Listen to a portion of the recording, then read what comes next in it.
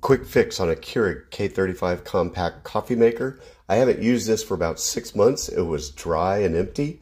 When I when I plugged it in, all four of these lights were solid. The power, the large, medium, and small, all were solid, not blinking. Sounded like it was trying to pump water, but it did not pump any water. So pull this off by pushing the two tabs up. I've already done it for quickness of this video. I've got it off. Remove this tube from the top of the coffee pod. Uh, and what you want to do is prime that tube, that water tube. Continuously pour water into that tube. I just made a little funnel with my hand. Continuously pour water. You'll hear it falling down into the reservoir. Um, once that's full, plug it back in. Plug the um, coffee maker back in, turn it on, and you can make a great cup of coffee.